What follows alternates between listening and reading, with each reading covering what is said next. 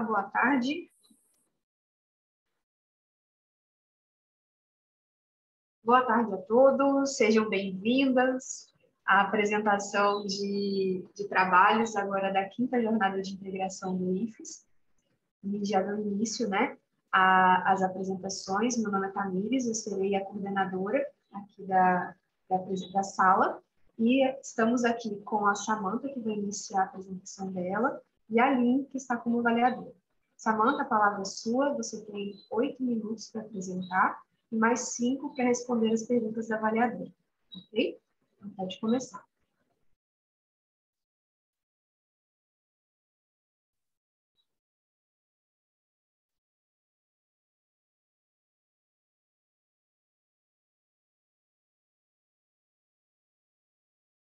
Samanta, não estamos te ouvindo.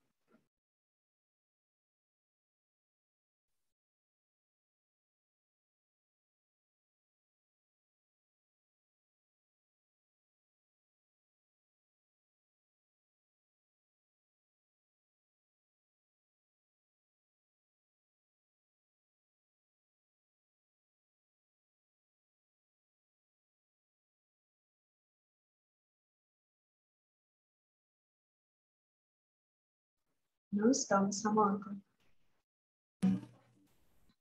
E agora, vocês conseguem me ouvir? Agora, perfeito. Ah, continuar. Foi. Obrigada, desculpa. É, boa tarde, meu nome é Samanta de Lima Augusto. É, o meu plano de trabalho é atividade citotóxica do extrato de com brasiliense em células de câncer cervical, com a linhagem Rila, e a minha professora orientadora foi a Marcela Porto Tavares. Bom, o câncer é um termo utilizado para designar um conjunto de doenças caracterizadas pelo crescimento rápido e desordenado de células. Essas células elas vão se agrupar e vão invadir tecidos e órgãos é, vizinhos e também podendo invadir órgãos distantes do, da origem tumoral. E esse, esse processo é chamado de metástase. É, o câncer ele pode se desenvolver em qualquer parte do corpo humano. Entretanto, alguns órgãos são mais atingidos que outros. É, nas, um dos tumores é, cancerígenos mais comuns em mulheres é o câncer cervical, também conhecido como é, câncer de colo de útero. De acordo com dados do Ministério da Saúde, esse é o, tipo de, é o terceiro tipo de tumor maligno mais comum entre mulheres e a quarta causa de morte por câncer em mulheres. Esse, esse, essa doença é causada pelo vírus papilomavírus humano, sendo que os subtipos HPV-16 e HPV-18 são responsáveis por cerca de 70% dos casos de câncer. É, de acordo com dados do Instituto Nacional do Câncer, o INCA, estima-se que cerca de 80% das mulheres sexualmente ativas irão adquirir esse vírus ao longo da vida. Então, com esses dados expostos, surge uma necessidade de se buscar novos métodos terapêuticos para essa doença. É, o objetivo, é, os objetivos dessa, dessa, pesquisa. Bom, como objetivo geral, é, nós, nós tínhamos a avaliação da atividade antitumoral de extratos vegetais e linhagens tumorais humanas, e como os objetivos específicos, preparar diferentes concentrações de extrato da planta, da planta hipérico brasiliense, desenvolver as técnicas de cultura celular, realizar ensaios de citotoxicidade e identificar possíveis mecanismos de ação dessa planta nessas linhagens tumorais. É, para a metodologia, a metodologia aplicada nesse, nesse, nessa pesquisa. Bom, essa planta ela seria obtida, é, ela seria obtida na fazenda regional do Conde, em Jucuruaba, do Incapé, e cerca de 100 gramas dessa, dessa planta seria submetida a secagem em sulfa durante 48 horas por 40 a, a 40 graus Celsius. E após essa secagem, ela seria é, submetida ao processo de obtenção do extrato bruto hidroetanólico. Ai, meu Deus, desconfigurou, mas eu vou continuar aqui. É, para a obtenção desse extrato bruto hidroetanólico, é, após essa secagem, essa planta ela seria submetida, ela seria moída em moinho de facas e em seguida seria submetida à maceração, à extração por maceração em etanol 96% volume-volume até o seu esgotamento. Após esse período, é, o extrato que fosse obtido seria filtrado e concentrado em um evaporador rotatório até que o solvente fosse completamente é, removido, obtendo-se o extrato bruto hidroetanólico. Em seguida, esse extrato ele seria submetido à lavagem em hexano e seria filtrado, e o filtrado iria ser concentrado em evaporador rotatório para é, extração do solvente, obtendo-se a fração é, solúvel em hexano. A fração solúvel em hexano seria lavada, seria submetida à lavagem com acetato de etila e essa e o filtrado seria concentrado em, concentrado em evaporador é, evaporador rotatório e, o, e ser, até a remoção completa do solvente e seria obtido a, a, a parte sol, é, solúvel em acetato de etila. Após, e, após, é, após a subtenção, a, a fração insolúvel em acetato em etila, etila, por fim, seria ressuspendida em água e seria liofilizada. Os produtos obtidos, oriundos obtidos dessas extrações seriam é, armazenados em frasco âmbar durante, é, em, sobre, sobre refrigeração a 4 graus Celsius. Para a técnica de cultura celular, as células seriam mantidas em garrafas de 75 é, centímetros quadrados, em 15 ml de meio RPMI, suplementados com 10% de soro fetal bovino e 1% de solução estabilizada de penicilina e streptomicina. É, o cultivo seria realizado em incubadora, em atmosfera de 5%, grau, 5 de CO2, é, para mimetizar né, as condições do corpo, é, do corpo humano. É, diariamente, essas, diariamente, essas garrafas seriam analisadas microscópio óptico de luz invertida para avaliação dos aspectos do meio e das células em cultivo, bem como sua taxa de crescimento e sua confluência. É, os ensaios de citotoxicidade seriam realizados em placas de 24 postos, é, uma, e uma vez que a cultura apresentasse confluência e estivesse aderida, as células seriam tratadas com diferentes concentrações do extrato e a viabilidade da amostra seria analisada em câmara de Neubauer com a adição da solução de azul de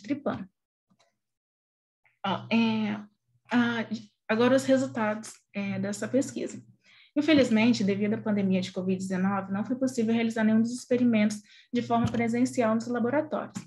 Mas, como uma forma de aprofundar nossos conhecimentos prévios e adaptar a, a iniciação científica para um modo virtual, nós realizamos diversas atividades para é, aprofundar esses conhecimentos, para adaptar essa IC. Dentre essas atividades, nós realizamos é, aulas de conteúdo teórico sobre técnicas de cultura celular ministradas pela aluna Priscila Neres. Nós também realizamos, juntamente com nossos professores orientadores, discussões de artigos relacionados com o nosso plano de trabalho, a fim de assimilar o conteúdo é, do mesmo e é, é sanar dúvidas que eventualmente é, surgiram. É, como uma forma também de é, divulgar o trabalho realizado pelo Laboratório de Ciências Biomédicas, o LCBM, e uma forma de divulgação científica, o grupo é, criou uma conta no, na rede social Instagram, o arroba lcbm.ifes, para é, fazer essa divulgação, divulgação científica.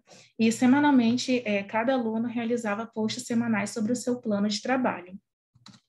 É, como forma de concluir né, as reuniões de as reuniões, apesar de não ter realizado o projeto de forma presencial, as atividades realizadas de forma virtual foram essenciais para que eu pudesse adquirir conhecimentos, é, no, novos conhecimentos e aprofundar aqueles que eu já possuía. E, a, além disso, a experiência de participar de um grupo de pesquisa foi enriquecedora para o meu desenvolvimento como futura pesquisadora, pois me auxiliou a ter uma visão mais ampla em relação à pesquisa científica e à carreira acadêmica. E, por fim, né, gostaria de agradecer à minha orientadora, Marcela Porto, pela oportunidade de fazer parte do grupo de pesquisa, ao LCBM e ao IFES pela oportunidade de me inserir na área científica. E, é, por fim, é, nós realizamos uma visita ao laboratório LCBM como uma forma de conhecer o laboratório e o ambiente que nós realizaríamos a nossa pesquisa.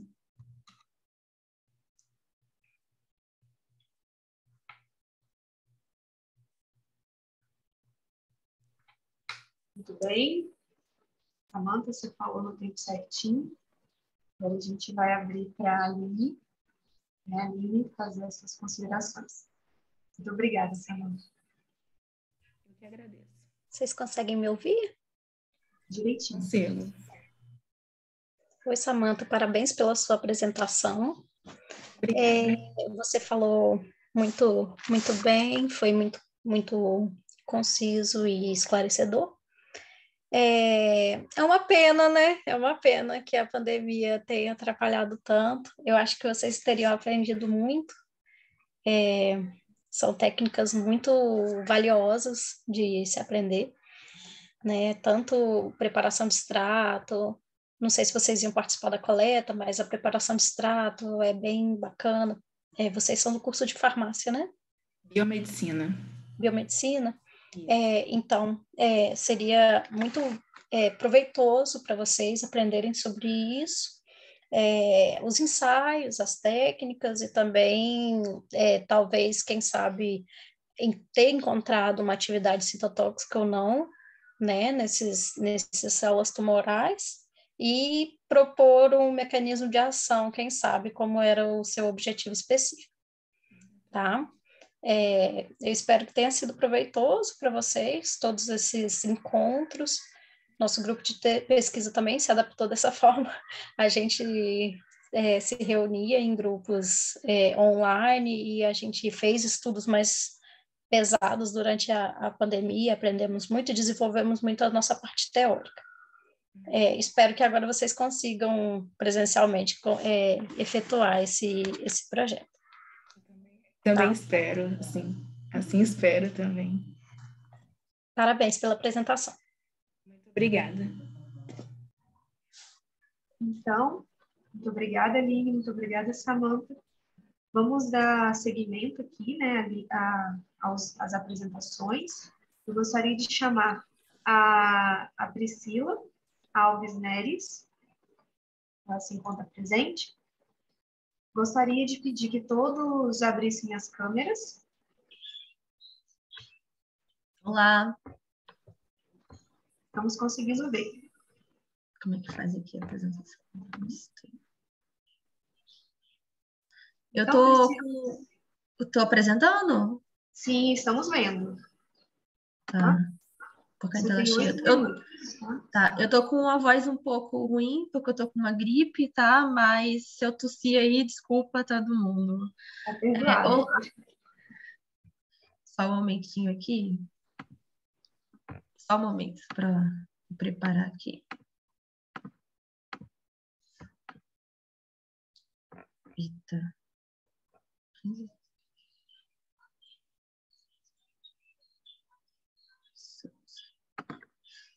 Olá, meu nome é Priscila, sou aluna do IFES Vila Velha, Biomedicina, minha orientadora foi a Marcela Porto.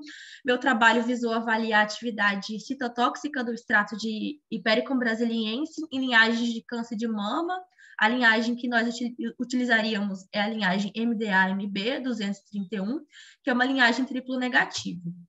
O câncer ele tem como principal característica a divisão descontrolada. Então, essa divisão, ela acaba afetando o nosso organismo, porque ele, essa célula sofre mutação, ela não consegue controlar essa multiplicação, e por conta disso pode ocorrer a migração de células para outros tecidos e ocorrer, então, a metástase. O câncer de mama é o câncer, é o segundo câncer mais incidente no mundo, é o câncer que mais acomete mulheres, e ele é a principal causa de morte de mulheres no mundo. É um câncer de extrema relevância, né? É, segundo os dados do INCA, esse dado é de 2020, eles fizeram uma estimativa que ocorreria mais de 66 mil novos casos de câncer para cada ano do triênio 2020 2022.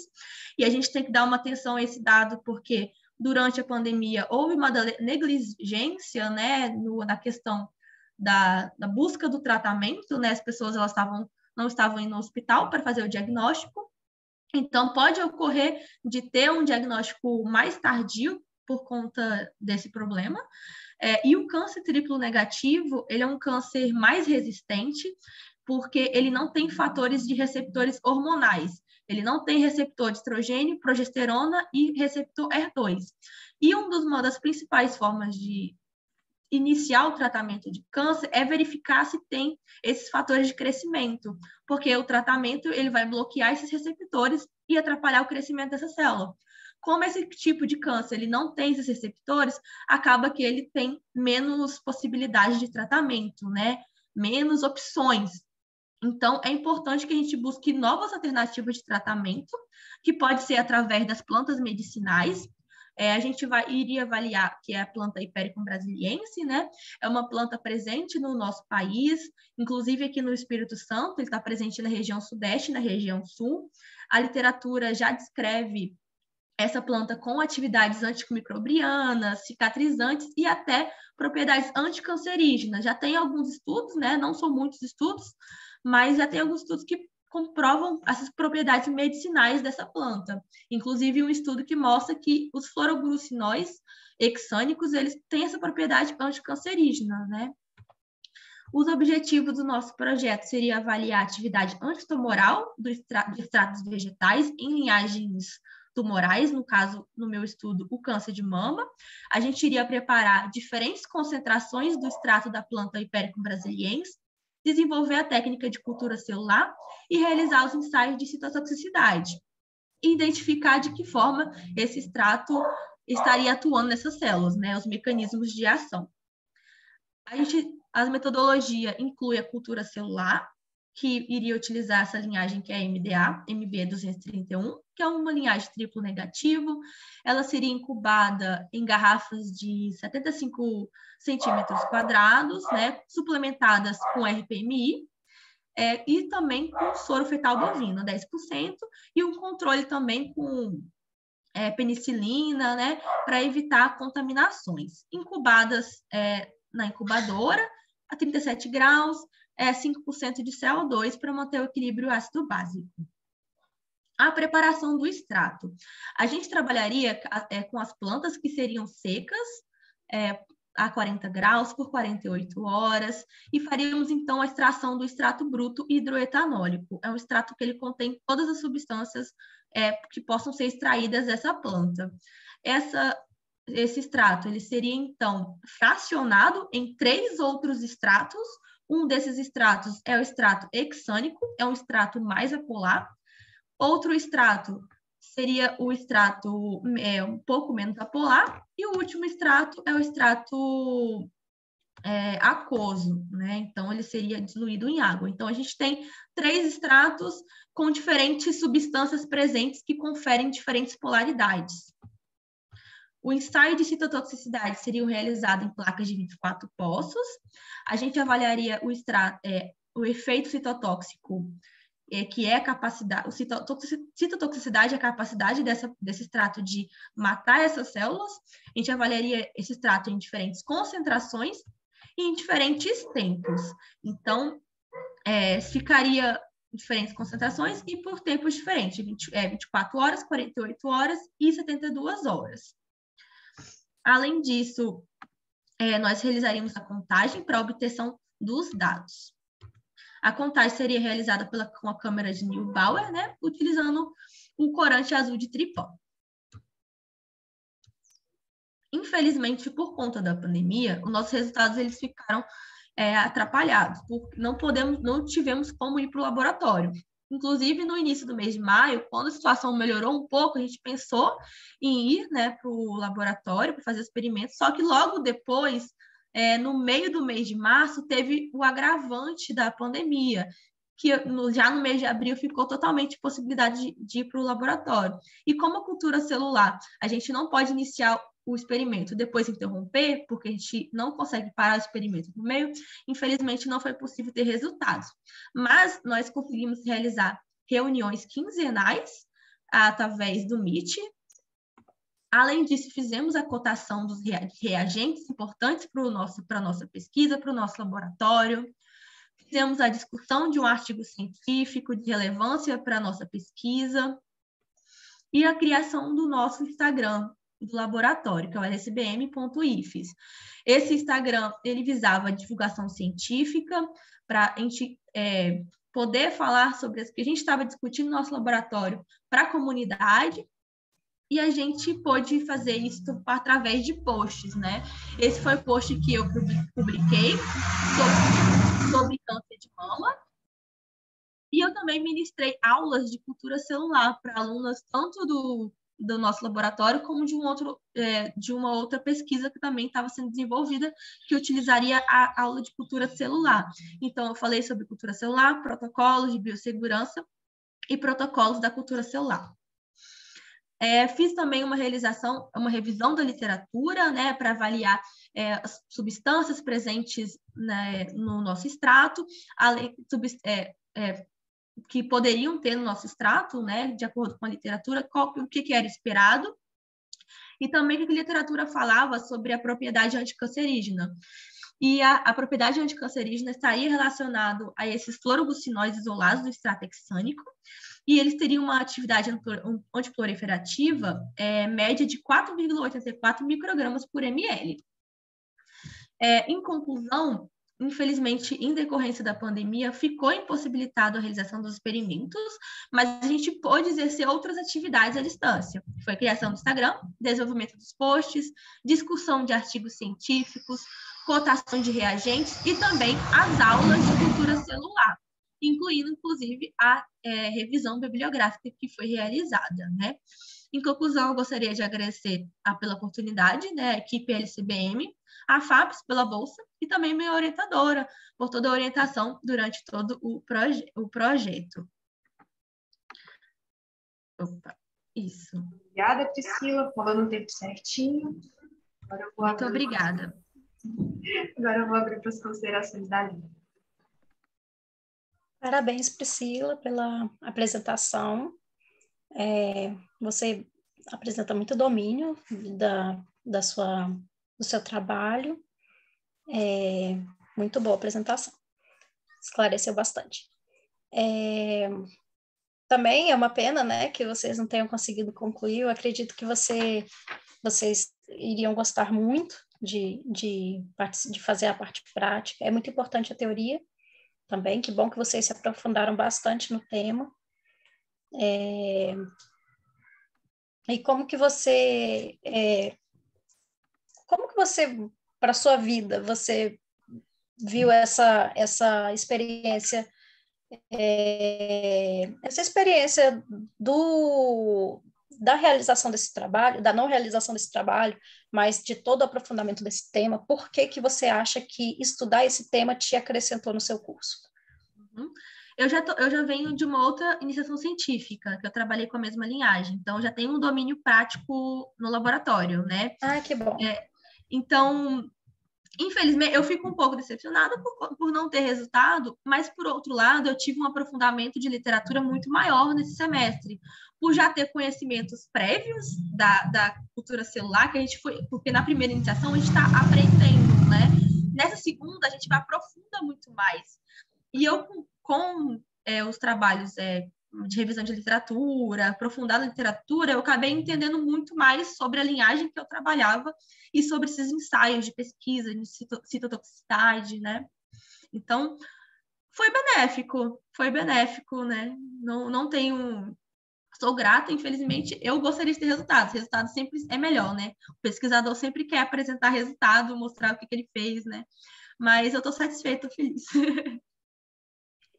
Parabéns pela sua pesquisa e apresentação. Muito obrigada. Muito obrigada. Vamos eu estou tentando fechar, gente, eu não estou conseguindo. Não. Enquanto isso, preciso chamar a próxima pessoa, tá? É, vou chamar a Vitória de Almeida Pérez para apresentar o trabalho dela. Ah, consegui. Vitória, você está aí? Opa. Oi, estou aqui. Você está me ouvindo? Pode compartilhar. Então, estamos sim. Prontinho, estamos vendo. Vitória, boa apresentação. Você tem oito minutos, tá? Bom, obrigada. É, boa tarde, né? meu nome é Vitória de Almeida Pérez Aiex. É, eu vou apresentar agora o meu projeto, que tem como título Avaliação da Atividade Citotóxica do Extrato de Medicina e Rubra e Células de Câncer Cervical, linhagem RILA, que teve como orientadora a professora é, Marcela Porto Tavares.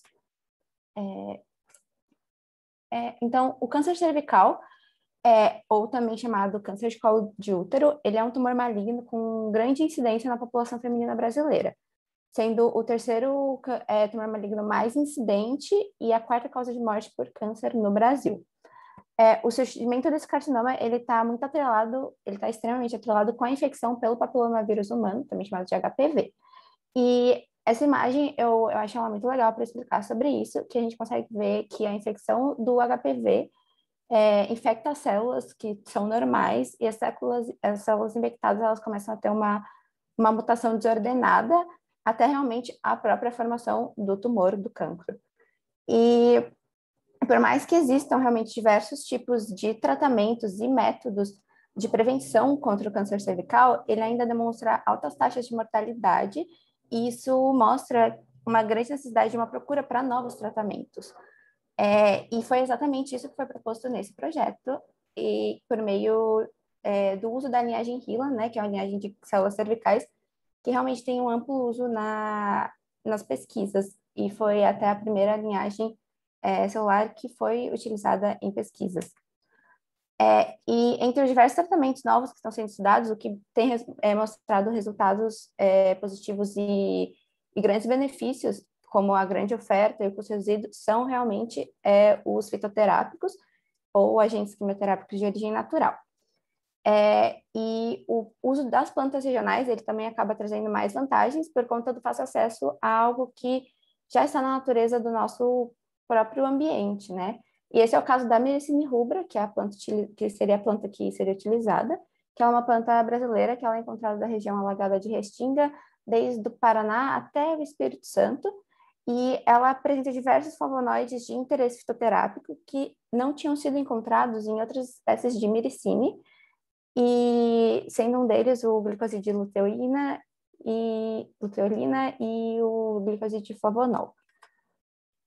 Então, com isso, o objetivo geral da pesquisa foi a avaliação da atividade antitumoral do extrato vegetal de medicina rubra em células da linhagem HeLa, e os objetivos específicos incluíam é, preparar diferentes concentrações do extrato da planta de medicina rubra, desenvolver as técnicas de cultura celular, realizar ensaios de toxicidade e identificar possíveis mecanismos de ação.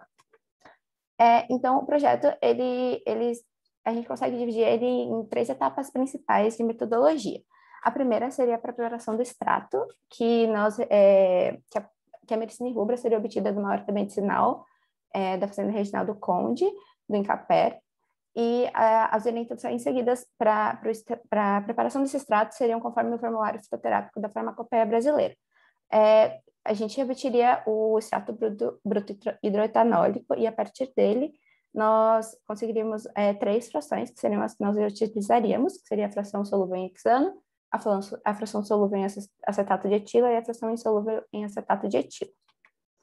Uh, a segunda parte é, do projeto seria a técnica de cultura celular, onde as células seriam mantidas em garrafas de 75 centímetros quadrados é, e cultivadas em meio RPMI com 10% de soro fetal bovino e 1% de penicilina, penicilina streptomicina. O cultivo ele seria realizado em uma incubadora a 37 graus Celsius e atmosfera de 5%, grau, é, de, 5 de CO2 até a subconfluência das células. E é muito importante essa, esse ambiente que é criado na incubadora, porque ele, ele torna, ele é, ele é muito propício ao crescimento celular, que é realmente o, o objetivo dessa, dessa etapa, porque com as células crescidas em uma quantidade boa, a gente consegue realizar o ensaio de citotoxicidade, que é a terceira etapa, que seriam utilizados placas de 24 poços, onde nós trataríamos as células com diferentes concentrações dos extratos de miricina e rubra. E a viabilidade dessas amostras, depois elas seriam analisadas em uma câmara de Neubauer com adição da solução de azul de tripã. O principal resultado esperado no projeto era a detecção de uma atividade antitumoral do extrato de miricina e rubra na, na linhagem celular RILA. Mas, devido à situação de pandemia, infelizmente, a gente não conseguiu realizar as técnicas laboratoriais, então houve uma mudança realmente no cronograma da pesquisa. Uh, as atividades que a gente realizou, é, não presencialmente, foram reuniões quinzenais, que nós discutíamos os projetos, uh, aulas sobre o, o cultivo, é, que foram ministradas pela, pela aluna Priscila Neres. É, a gente apresentou os nossos planos de trabalho, assim como fizemos cotações de produtos laboratoriais e algo que acho que foi muito benéfico nesse momento foi a criação do Instagram do LCBM, do nosso laboratório, que foi foi muito bom levar para as pessoas o que a gente estava fazendo, e acho que isso traz uma proximidade também com a pesquisa para quem está de fora. Então, nós também tivemos discussão de artigos relacionados com os projetos, que foram realizados em dupla. Eu realizei com a minha colega, é, a Letícia, e o, o artigo que nós apresentamos falava sobre justamente é, um, um método diferente de utilizar o azul de tripã, então isso foi acrescentou muito também ao projeto, que é algo que seria a se pensar é, para, para próximo, os próximos trabalhos.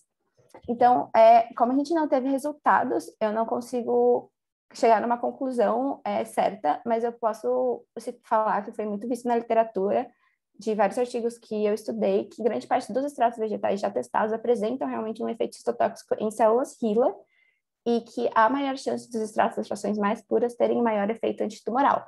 Mas, com certeza, é necessário mais estudos, é, principalmente para compreender como a medicina rubra se comporta, porque é uma planta que não tem é, quase nada sobre ela, é uma planta muito pouco utilizada.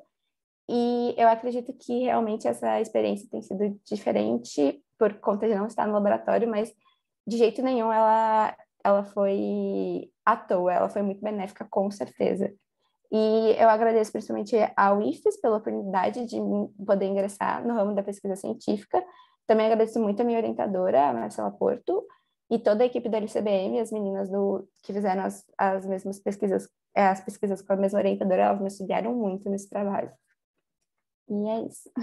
Aqui temos algumas fotos das reuniões, da, do dia que apresentamos o artigo e das, da postagem que eu realizei sobre células fibra. Parabéns, Vitória, parabéns, meninas. É, vamos fazer um pouquinho diferente, vamos chamar a Letícia para dar seguimento na, na, apresentação e depois a Aline vai falar um pouquinho né, de uma forma geral. Tá bom? Letícia, você está pronta? Estou sim, deixa eu ver a câmera aqui. Tá Vocês conseguem me ver? Sim. Ai, gente. que difícil. Pode compartilhar sua tela para a gente ver. Eu vou compartilhar. Uhum. Aos demais, eu peço também que, que abram suas câmeras. Tá bom?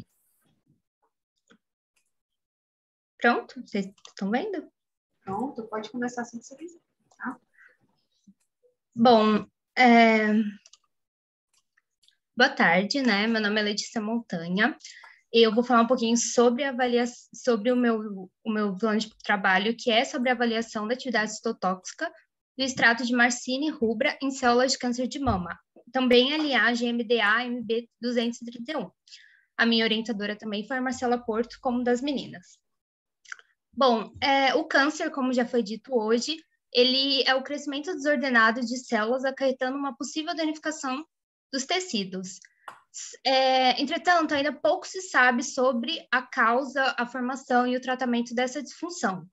Isso é negativo porque, porque o câncer acaba é, tendo uma alta incidência e morte em muitas pessoas. O câncer de mama, especificadamente, ele é o mais incidente em mulheres no mundo e apenas em 2020 estimou-se cerca de 2,3 milhões de novos diagnósticos e 15,5% dos óbitos desses. No território brasileiro, também é uma problemática, porque em 2021 foram registrados cerca de 66 mil novos casos, o que equivale a uma taxa de incidência de 43,77 casos por 100 mil mulheres. Aqui, como vocês podem ver, eu coloquei uma ilustração né, é, do que seria o câncer aqui nessas células desordenadas, diferentes das células normais, e aqui um gráfico do INCA de 2020, falando sobre a taxa de mortalidade por câncer de mama feminino, especificadas por faixas etárias por 100 mil mulheres. É, nesses anos, de 1979 a 2019, a gente continua, continua vendo que é, uma, é, é de uma relevância intermitente, né? Infelizmente, continua tendo uma incidência e uma mortalidade alta. Bom, a detecção precoce e o início do tratamento adequado, ele é extremamente necessário, porque de acordo com a OMS, cerca de um a cada três dos casos que estiverem é, nesses enquadramentos podem ser curados. E o tratamento para essa doença, ele que seria quimioterapia, que seria quimioterapia, cirurgia, radioterapia, terapia hormonal, elas podem apresentar efeitos colaterais nocivos ao paciente. Então, é necessário que sejam feitas outras alternativas promissoras, como a fitoterapia, que oferece uma possibilidade de terapeuta coadjuvante de um modo mais natural e menos agressivo ao paciente. E dessa forma, a Marcine rubra MF Freitas equinochita, que é a planta medicinal aqui nessa imagem, ela pode apresentar uma composição fitoquímica promissora, porque já foi feito estudos por um professor do nosso campus que constatou que ela é promissora com é, compostos flavonoides e polifenais. Bom, o objetivo geral do, da pesquisa foi avaliar a atividade antitumoral de extratos vegetais em meagens tumorais humanas, e os objetivos específicos foi preparar diferentes considerações dos estados da planta, desenvolver técnicas de cultivo solar, realizar ensaios de citotoxicidade e identificar possíveis mecanismos de ação. Então, de modo geral, é, houve a preparação, é, haveria a preparação desse extrato bruto etanóico da planta Marcini rubra, a técnica do cultivo celular das células MD, M, MDA, MB231, que seriam feitas com meio de suplementação RPMI, suplementado a 10% de soro fetal bovino e 1% de antibiótico. Essas células seriam mantidas a um ambiente da incubadora, 37 graus Celsius, e atmosfera de 5% de CO2. Elas seriam é, visualizadas né, no microscópio semanalmente, diariamente, é, em alguns casos, para avaliar o aspecto dessas células e a sua taxa de crescimento e confluência. A partir do momento que essas células apresentarem é, uma confluência boa e aderida, elas seriam colocadas nas placas de 24 poços e seriam tratadas com diferentes concentrações desse extrato que previamente a gente fez. Depois a gente faria o que a gente chama de viabilidade celular. A gente contaria né, as células que sofreram apoptose e faria análise desses gráficos para ver se o extrato ele tem potencial antitumoral ou não. Essa contagem seriam feitas em câmera de Neubauer com as, o corante azul de tripã. Bom, os resultados e discussões. É, infelizmente, né, como todos nós, é, por conta da pandemia, a gente não conseguiu realizar os experimentos propostos e a gente fez uma adaptação dos procedimentos práticos para o teórico, que foram reuniões semanais, a qual na primeira semana a gente apresentou o nosso plano de trabalho, para a gente entender melhor o plano de trabalho, e depois houve a discussão de artigos é, relacionados ao nosso plano de trabalho, para a gente conseguir entender na prática como seria o, o que iríamos fazer né, é, no laboratório. E aqui foi o, foi artigo que eu é, comentei, discuti com a Vitória, e a gente falou sobre esse artigo porque ele tem uma base nova sobre a contagem de viabilidade celular com azul de tripã, que posteriormente a gente pode até utilizar no nosso laboratório. E por fim, também, é, nós realizamos a criação do Instagram e fizemos publicações semanais. Aqui temos o post que eu fiz sobre a técnica do cultivo celular, e, em conclusão, apesar de não conseguirmos é, apresentar os resultados que gostaríamos, é, a iniciação científica ela foi benéfica e foi é, de bom tom em todos os âmbitos, principalmente da aprendizagem de artigos científicos e da divulgação científica do Instagram, propriamente dito. É, agradeço o IFES pela bolsa concedida e pela oportunidade de me ingressar no ramo da pesquisa científica, assim como os professores do IFES e o LCBM no geral. Aqui estão umas fotos das reuniões que foram online. E é isso. Obrigada. Muito obrigada, Letícia, pela apresentação. Foi muito boa. Agora eu vou dar a palavra para a Lili, para fazer a consideração dos trabalhos. Então, meninas, já que eu observei que aconteceu a mesma coisa com todos, né? E vocês pertencem a um grupo de pesquisa só e tem um tema muito parecido, é, eu queria gerar uma discussão, um debatezinho entre, os, entre as quatro, pode ser? É, vocês vão conversando comigo sobre algumas dúvidas que eu, for, que eu, que eu tive durante o, a apresentação.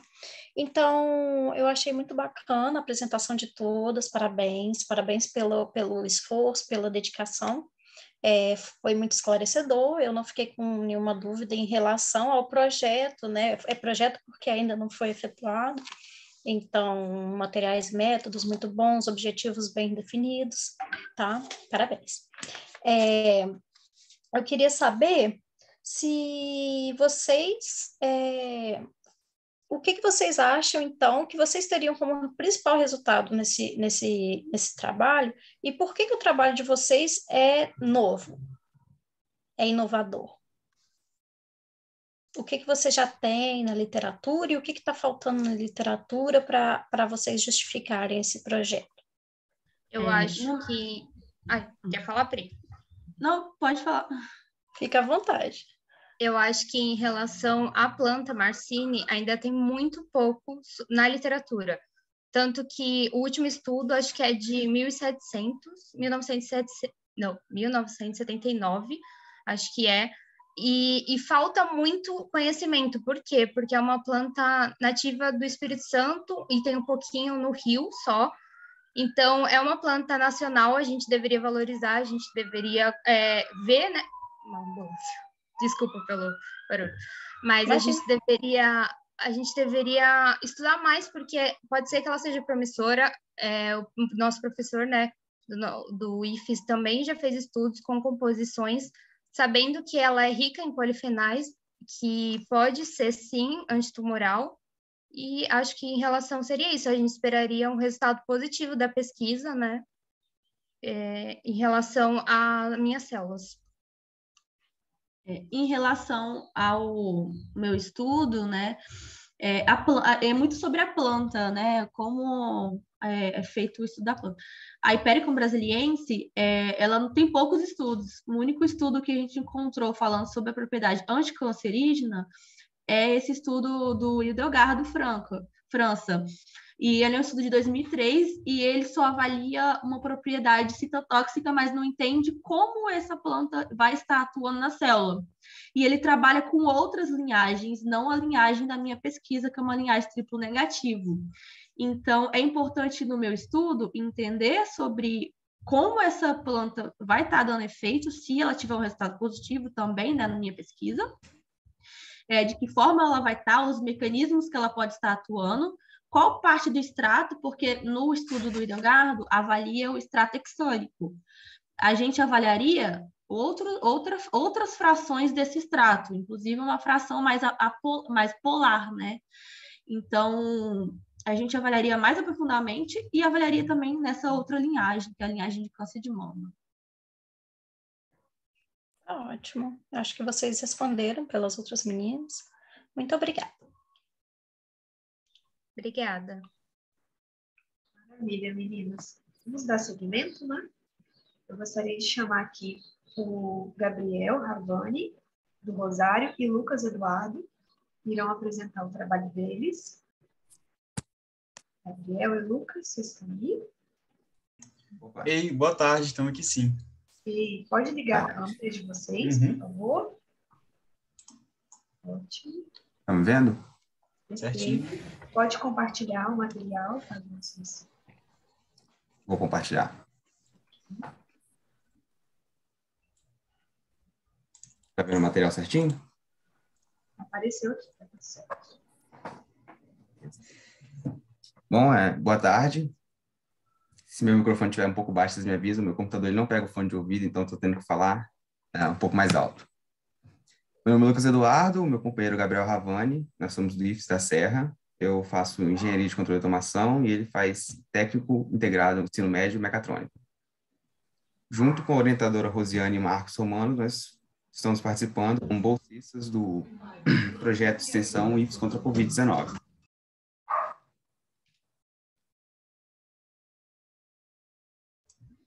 É, o Gabriel agora fala sobre a situação, nossa situação regional na Serra, antes da gente começar esse projeto. Isso. Tá. Como o Lucas já apresentou a gente, né? Eu vou falar em como estava é, a situação do Covid-19 no início desse ano, né? O ano de 2020 foi um ano muito difícil para o Covid. É, foi um ano que essa pandemia explodiu realmente, né, em nível mundial e aqui no Brasil também. O Brasil é um dos países que mais foi afetado pela pandemia. E eu vou falar aqui alguns dados. Por exemplo, no início, em janeiro, né, é, a gente estava mais ou menos com 25 mortes diárias. esse número foi se mantendo estável, por volta de 20 até 30, mas o pico mesmo foi em abril, que a gente chegou a ter 100 até 110, 111 mortes aqui no Espírito Santo. Esse é o número que eu estou falando. É, e esse número só foi crescendo, crescendo, e ele começou a cair um pouco em maio e se mantém estável por volta de 10 mortes, 5, agora que deu uma caída boa, né? Mas só para exemplificar e quantificar o estrago da pandemia mesmo no início e durante esse ano. E esse foi um dos principais motivos, né, para a gente fazer o nosso projeto, que o Lucas vai dar procedimento agora.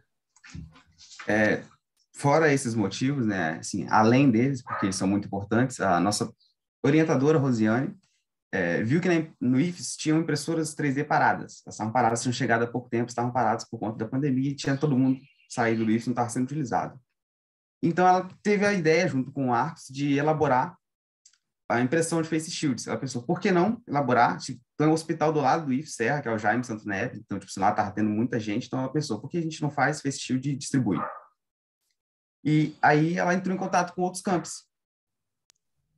Isso. É... E é interessante falar isso porque não foi só uma medida que o IFES da Serra tomou, né? Foi uma medida que quase assim todos os outros campos quiseram solucionar e combater né, essa pandemia juntos. Então, é, foi criado um grupo no WhatsApp, né? Nesse início era só a Rose e o Marcos. Os dois estavam idealizando o projeto e só depois que ele virou um projeto de extensão e pesquisa, né? Mas no início eram os dois e eles entraram em contato com outros campos e foi criado um grupo no WhatsApp, sim, de das pessoas engajadas a solucionar esse problema. E lá eles é, conversavam sobre ideias, soluções, é, um dava dicas para o outro, e mais ou menos quase todos os campos que tinham impressora 3D, né, começaram a fazer essa impressão junto. Então, é, eles se ajudavam nas impressoras 3D, né, porque é um aparelho novo para a maioria dos professores, né? Por exemplo, a Rose e o Marcos tinham mexido muito pouco com eles. E são aparelhos que dão muito problema, são muito difíceis no início, assim, de lidar com eles. Então, foi dado o suporte assim, todo mundo se ajudou, e os campos de Cariacica e alguns do interior, por exemplo, foram os que mais contribuíram para o campus aqui da Serra começar o projeto, o nosso projeto aqui. É, de início, assim, depois que o projeto foi lançado e aprovado, uh, eu e o Gabriel entramos como bolsistas e as nossas primeiras atividades foi aprender a mexer no software, né? Porque para a gente poder desenhar esse estilo, a gente tinha que entender como é que era feito esse desenho a gente acabou participando de algumas aulas com o Marcos, ele ministrou para a gente sobre como desenhar em 3D, utilizando primeiro o Inventor. O, o Inventor ele é um pouquinho pesado no, nas máquinas, então ele funcionava, mas ainda um pouco lerdo, demorava um pouco para responder. Logo após o Inventor, a gente descobriu o Fusion, que é da mesma série do Autodesk, só que é mais leve e trabalha em nuvem. E aí os projetos foram andando um pouco mais rápido, porque a questão de desenhar estava muito mais rápida, a questão de enviar para o outro também estava muito mais fácil. Como é mais leve, na própria máquina, como já desenhava, já renderizava ali, você conseguia enxergar melhor. E além de desenhar peças como essas foram mostradas aí no slide, o copinho, um Mzinho, que era uma máquina, também desenhamos algumas engrenagens. Fomos aprendendo até a nossa primeira atividade, de fato, que foi desenhar um modelo 3D da Face Shield com nossos moldes da nossas cabeças, né? Cada aluno, não tem só nós dois bolsistas, tem outros alunos também. Cada um desenhou um é, referente à sua cabeça e a gente colocou para imprimir. E depois dessas impressões, a gente viu qual acrescentava um pouquinho mais na, no que já tinha, porque antes da gente fazer essa impressão, já tinha moldes que eles imprimiam. Acabou que um dos nossos shields feitos para os alunos foi contribuinte para essas garrinhas laterais aqui, que antes não havia, antes havia umas garrinhas mais finas, essas garrinhas laterais ajudaram para segurar o elástico na cabeça, o que acabou facilitando só na hora de colocar o elástico e dar mais conforto. É, essa também foi uma das outras outros projetos, o Gabriel vai falar para vocês agora. Sim, é, e é interessante falar também que os modelos de face shield que a gente fez, eles seguiam as normas do Inmetro e da Anvisa. É, eles lançaram uma nota assim, é, falando sobre tudo que um face shield reconhecido tinha que ter. Então a gente seguiu essas normas e a gente fez esse face shield de acordo com a Anvisa. É, mas não só o face shield também. É, o Marcos e a Rose tinham feito um projeto de Face Shield, aí como o Lucas disse, a gente aprimorou e trouxe novas funcionalidades, né, tipo aquela garrinha que prendia um elástico atrás da cabeça, é, mas a gente também partiu para outras áreas. Aí, mostrando no slide, é um projeto de um dispenser de álcool gel automático que a gente desenvolveu. É, ficava o bico do dispenser ali, e onde tem esse círculo era um movimento de um servomotor. Esse servomotor, então, tinha um sensor ultrassônico que, quando a gente aproximava a mão, ele mandava uma informação para o Arduino. O Arduino mandava essa informação para o servomotor e ele abaixava a garrinha e pressionava o dispenser do álcool em gel. Então, não é, evitava o contato, né? Que era um dos principais motivos da gente criar esse sensor automático. Por causa da pandemia, o contato deveria ser evitado, né? É, essa base a gente confeccionou no Inventor também, que foi o software que a gente aprendeu. E além da base, a gente tirou todas as medidas do dispenser e a gente fez um circuito elétrico também para como ia ficar a ligação né, entre o Arduino e o servomotor. Aí a gente projetou ele para ficar ao ar livre, né, usando pilhas, ou a gente também estava é, pensando na oportunidade de colocar ali uma tomada, né, porque a gente não ia depender de pilhas. Mas, como vários grupos falaram, né, o nosso projeto era contra a pandemia, mas a pandemia também atrapalhou a gente, né? É, a gente teve assim poucos encontros para discutir isso. A gente acabou até imprimindo a base. A gente fez o projeto, imprimiu a base. Essa impressão assim demorou coisa de um dia inteiro para ser feita, uns 10, 12 horas. É, a gente estava com o dispenser pronto, a gente tinha comprado o servo motor, o Arduino, só que acabou que não deu tempo da gente fazer. Mas assim, o projeto está todo pronto e talvez em alguma oportunidade futura a gente possa continuar ele, né? É, isso. Agora também teve. Ah, e tem umas fotos, né? Mas eu queria também falar de outro projeto que a gente começou, que foi do Abraço Solidário, que consistia em uma cortina de plástico é, o programa do Luciano Huck, por exemplo, usou é, essa cortina em, em algum dos das apresentações, né? Era uma cortina de plástico e ela ia ser instalada no hospital aqui Jaime. Uma coordenadora do Jaime entrou em contato com a gente e a gente estava desenvolvendo esse projeto. E você podia abraçar, né? É, o seu familiar, o seu amigo, é, enquanto ele poderia estar com Covid ou suspeita, né? Aí temos algumas fotos, como foi. É, os face shields empacotados. Pode passar o slide, Lucas.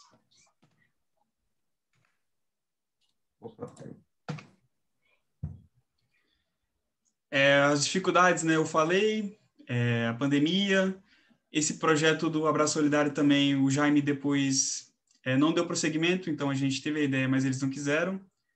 É, pode passar o slide. Aí tá algumas notícias, né? é, postadas no site do campus. E é, tem mais um slide.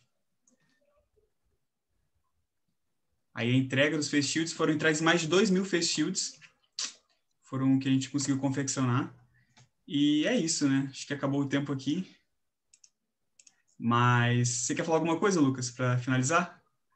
É, eu só queria assim, colocar lá dentro que o próprio enfermeiro do campus, ele deu um feedback positivo sobre o nosso Face porque além de para a comunidade externa, a gente também produziu para os próprios uh, é, professores e servidores do campus. É, e a gente, inclusive, eu vi, eu tive o IFES há pouco tempo para uma aula prática, eu vi os professores utilizando os próprios Face que nós imprimimos, né? Assim, dá um pouco de satisfação por nós imprimimos, eles estão usando aí, também está servindo para alguma coisa.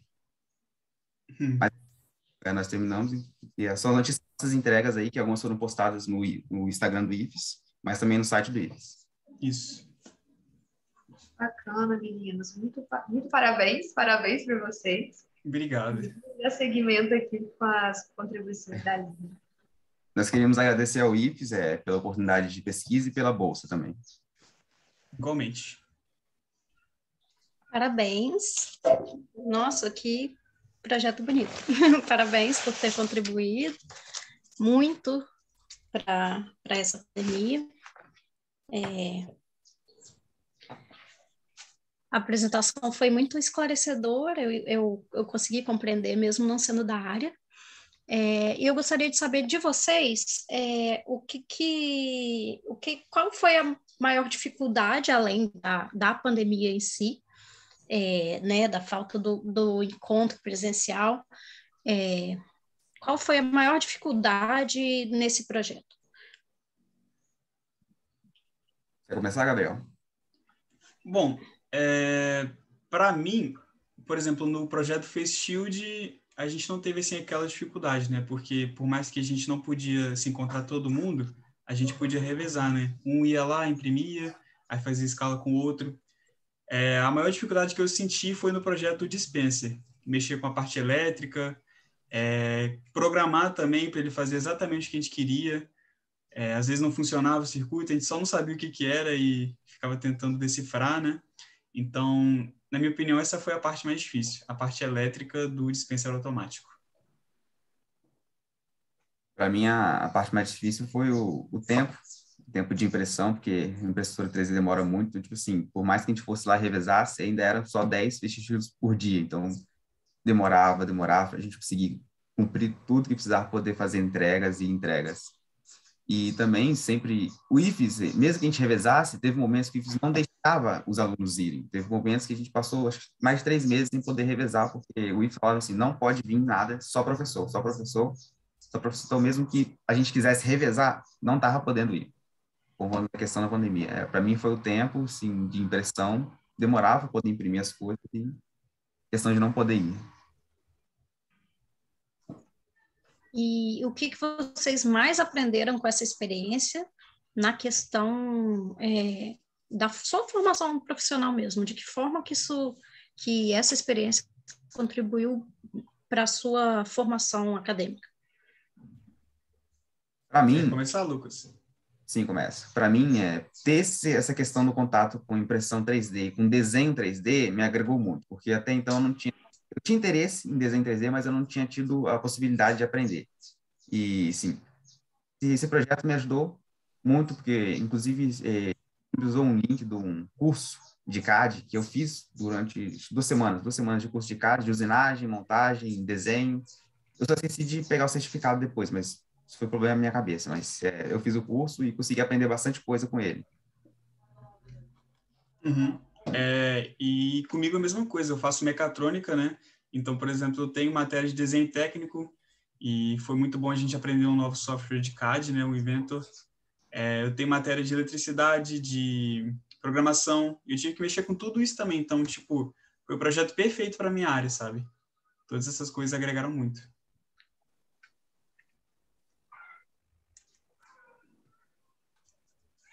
Vocês estão conseguindo me ouvir?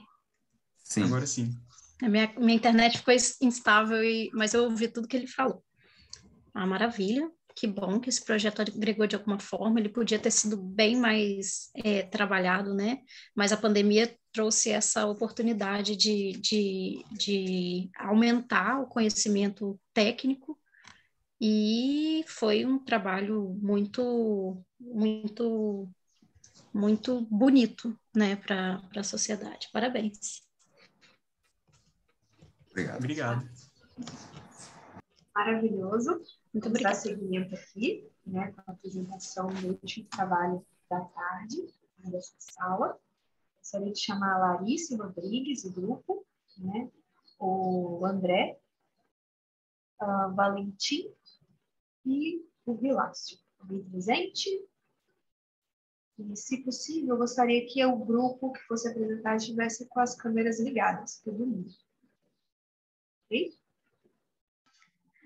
Oi, estão me ouvindo? Ei, estamos. Me vendo agora? Agora sim.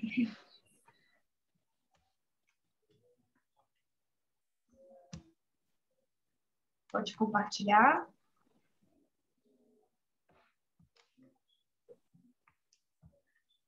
Hum.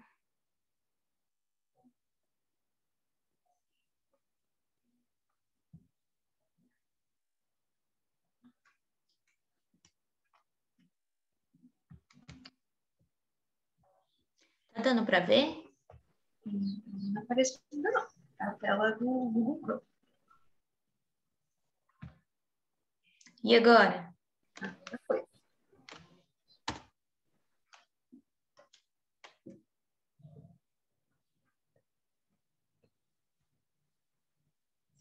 Primeiramente, gostaria de dizer boa tarde.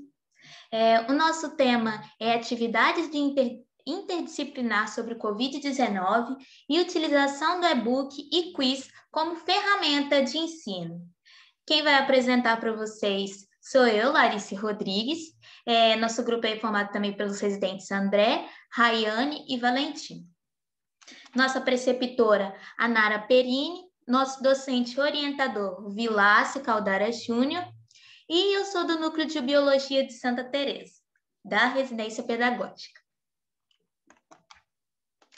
Primeiramente, a pandemia do coronavírus, ela começou aí é, basicamente 11 de março de 2020 aqui no Brasil, e com isso houve-se a necessidade de novas demandas, principalmente em questão a materiais didáticos aos alunos.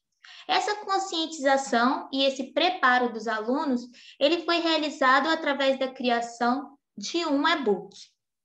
Primeiramente, a nossa professora é, preceptora, ela deu a ideia de que criássemos um artigo. Mas pensando na, nos alunos é, nessa transição de pra, em casa e na escola, a gente resolveu fazer um e-book, um e-book bastante ilustrativo, bem didático, com letras grandes para que eles pudessem ler também do celular. E realizamos isso na escola é, Estadual de Ensino Fundamental e Médio, José Pinto Coelho, em Santa Teresa. Quais foram os principais objetivos da nossa intervenção? Primeiro, foi facilitar a transmissão do conhecimento através desse e-book informativo e bastante ilustrativo. Testar os conhecimentos dos alunos também através de um jogo didático sobre o e-book, sobre todo o conteúdo que esteve presente no e-book além de abordar também o conteúdo de forma didática, com a linguagem coloquial, é, simples e de fácil acesso pelos alunos. Em relação ao referencial teórico, eu trouxe é, materiais de Silva e Brandão e também de Conceição Mota e Barguil, que falam principalmente sobre a importância de trabalhar os assuntos do Covid-19 para que os alunos é, entendam como se prevenir, como se dá o contágio da doença, é, como é importante é, ter é, outros fatores, é, tanto de prevenção dentro da escola, como uns com os outros, como evitar aglomerações e dentre outras coisas.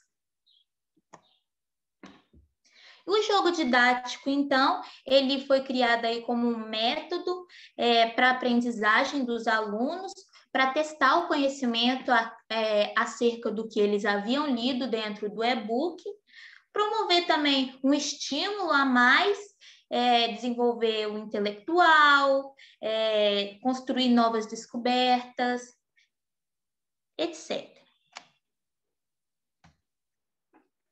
Em relação ao desenvolvimento, houve a criação do e-book com diversos temas, dentre eles a pandemia do Covid-19, os tipos de vacinas usadas no Brasil, a importância de cada vacinação, desde respeitar os períodos certos para vacinação, a quais os tipos, as atividades pedagógicas não presenciais, falando sobre as APNPs, é, a importância das APNPs, o que são APNPs, instruções, tanto para a volta das aulas presenciais, quanto os desafios, é, locais em que os alunos poderiam sentar dentro da classe, é, manter o espaçamento entre um aluno e outro durante as filas na hora da refeição, é, manter sempre a utilização do álcool em gel, se possível, o aluno ter o próprio álcool em gel, apesar de que na escola também já é, é, é mesmo que na escola também disponibilize o álcool em gel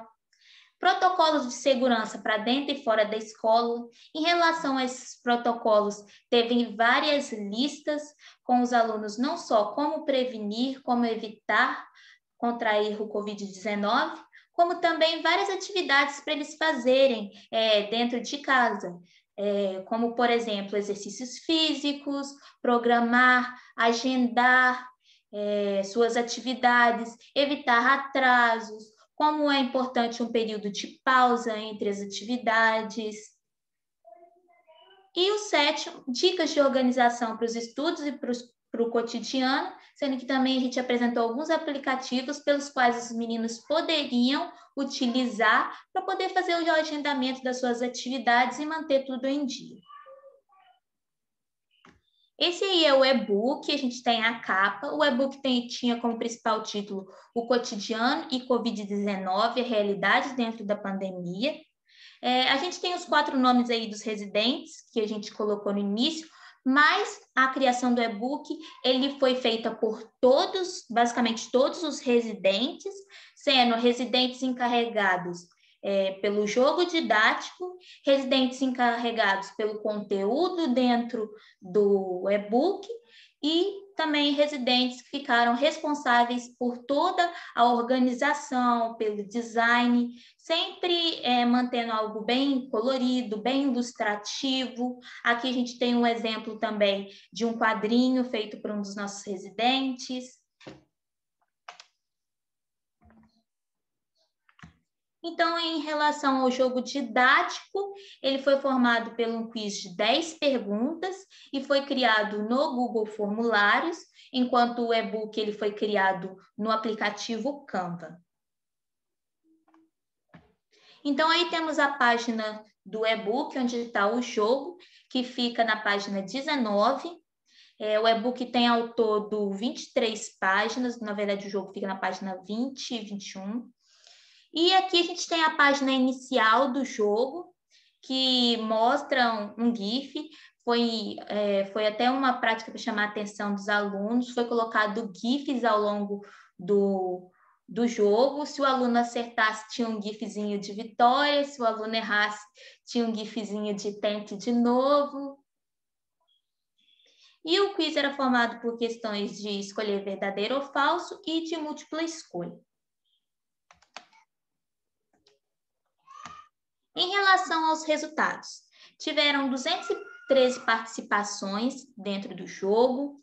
É, as respostas corretas foram em 70% dos casos, com exceção da questão 8, que abordou em questão as dicas de organização e entendeu-se que 59,6% desses alunos eles não respeitavam aí um período para descanso. E a questão 1 houve aí uma confusão de conceitos, porque a questão 1 ela abordava a terminologia COVID-19 e dava quatro opções, que é se referir à doença, que era a opção correta, 71,8% acertaram, mas ainda houve 19,7% que errou, que disse que era relacionada ao vírus, é, 4,2% que era relacionada à pandemia e 4,2% relacionada ao grupo viral. Em relação às conclusões, é, foi possível notar que esse linguajar acessível, o design ilustrativo, é, o jogo, foi excelente para atrair o foco dos alunos.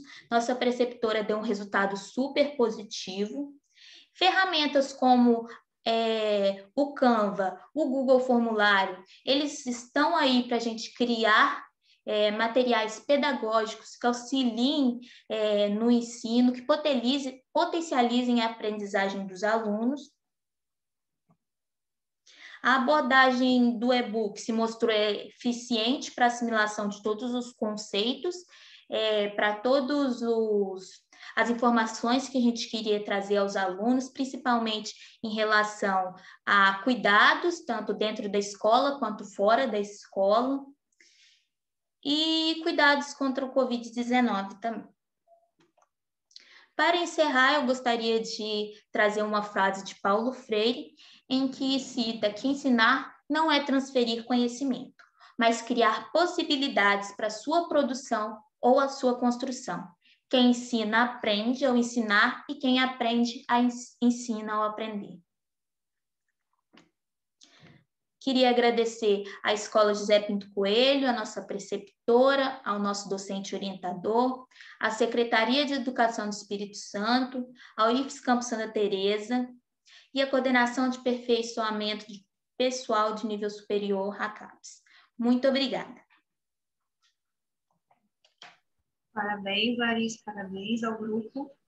Trabalho lindo. Vou abrir para a Aline fazer suas considerações. Parabéns ao grupo de pesquisa. É muito, muito boa a sua apresentação, é muito esclarecedora.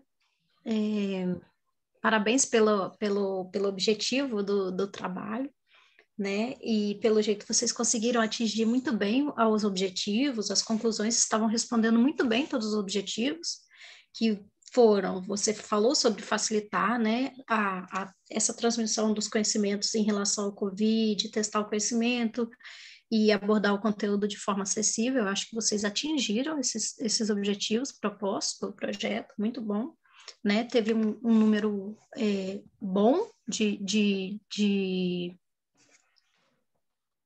de pessoas atingidas, né, é, por esse, por esse, por esses objetivos. E e me chamou a atenção o, o fato de vocês é, usarem o, a gamificação, né, o, o métodos didáticos mais é, chamativos para, para a, a, a, idade, né? E eu queria que você falasse mais um pouco sobre isso. De onde surgiu essa ideia, o porquê? Porque, primeiramente, é, a nossa preceptora ela propôs um artigo só que quando foi pensado que os alunos eles estão com essa estavam na, naquele período na transição de ficar um período em casa e ir um período para a escola, ficava meio complexo de um aluno entender um artigo científico de casa. A professora provavelmente não teria conseguiria dar todo o suporte que cada aluno precisaria para aprender. Então aí surgiu a ideia do e-book com uma linguagem acessível, uma linguagem simples, e os alunos conseguiriam ler e de forma é, autodidata eles conseguiriam compreender aquilo que eles leram e também aplicar isso no jogo didático. 70% de respostas é, corretas é um número muito grande e mostrou uma eficiência incrível, se pensando que os alunos eles estavam é, já um bom tempo dentro da pandemia, inseridos é, e também com a, a, os problemas de não estar indo para a escola, aí voltar para a escola, aí ter que se acostumar com essa nova rotina, com o distanciamento, com as máscaras. Então, trazer todas as informações que a gente trouxe foi de suma importância e esse material ele foi divulgado para todos os anos na escola, é assim de de sexto até ensino médio. Então, todos os alunos aí tinham o acesso ao documento. Muito bom. E como que foi a aceitação da escola? Foi fácil deles aderirem à proposta? Sim, foi, foi bastante fácil. A preceptora ela deu é, resultados extremamente positivos. Os alunos gostaram muito, até porque o e-book ele é todo muito bem ilustrado. É, foi construído dentro do aplicativo Canva, então foi muito bom. Tá. E de que forma você acha que isso, que essa experiência te ajudou na sua formação? Tanto para ah, você quanto para todo o grupo de pesquisa. Foi novamente é, a questão da experiência, mesmo que a distância, a criação de materiais para os alunos era o que conectou a gente com eles, porque a gente não, a gente mal viu eles por algumas ligações de vídeo que a nossa preceptora conseguiu fazer então, era a nossa forma de conseguir conectar, se conectar com eles. Isso foi muito importante, porque foi tão difícil a pandemia, ainda está sendo difícil a questão de estar longe, e agora finalmente a gente vai poder ter o trabalho presencial. Então, o, o, o e-book ele trouxe, é, ele envolveu o esforço de todo mundo e trouxe essa nossa vontade de estar junto com eles, e isso se ilustrou muito bem dentro do e-book. tanto que você vê a, a forma é, como a gente escreveu, como todo mundo ficou animado para construir, e foi um trabalho em grupo maravilhoso. Parabéns pelo trabalho, parabéns pelo, pelo significado do trabalho também e por terem atingido todos os objetivos. Parabéns ao grupo de pesquisa, tá bom? Então, a gente gostaria de Muito deixar obrigada. um agradecimento aos grupos que apresentaram, os trabalhos estavam ótimos, excelentes, as considerações da Aline também, com certeza que bateu bem, bem lá no fundinho, daquela vontade de ser o pesquisador que vocês vão ser. É, eu gostaria de pedir, né, é, que vocês abrissem a câmera para a gente tirar um print, né, porque nessa era digital para encerrar nossa, nossa, nossa sala, né?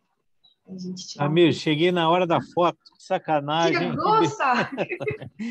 Pessoal, rapidinho aqui, Tamires, antes de você encerrar aí a, a, a, a sala, eu não podia deixar de passar aqui e agradecer a você por conduzir os trabalhos aqui dentro dessa sala e também aos avaliadores, né, que poder, poder tiveram disponibilidade de ficar aqui testando aí o conhecimento dos nossos, dos nossos alunos, experimentos foram feitos dos PIBID, das dos trabalhos de extensão e de pesquisa também. Então, obrigado mesmo, porque no conjunto dessas ações é que faz com que a jornada da integração se torne o melhor evento cada dia mais, um evento mais bonito, mais bacana e completo. Tá bom? Então, na condição de presidente desse evento, eu quero agradecer pessoalmente vocês aqui para poder é, vocês contribuíram fortemente para o evento ser um sucesso. Obrigado mesmo. Agora sim, pode tirar foto, eu vou estar aí nessa foto aí. Vamos lá, todo mundo sorrindo, mexendo no cabelo. Vamos lá, vamos começar aqui. Mais uma? Foi. Muito obrigada, pessoal, a todos aqui presentes. Certo? Vamos encerrar a sala. Tchauzinho para vocês e vamos continuar na luta. Isso, hoje ainda tem mais a palestra da, da, de, de é, Linguísticas, Letras e Artes, daqui a pouco vai abrir a palestra. Tem mais ações de pós-graduação, que vai ter alguns trabalhos a serem, algumas apresentações, e amanhã tem mais jornada também. Então, não acaba hoje não, pessoal. Ah, Vamos participar de todos os eventos que tiver disponível aí, tá bom? Tchau, tchau. Tchauzinho, gente.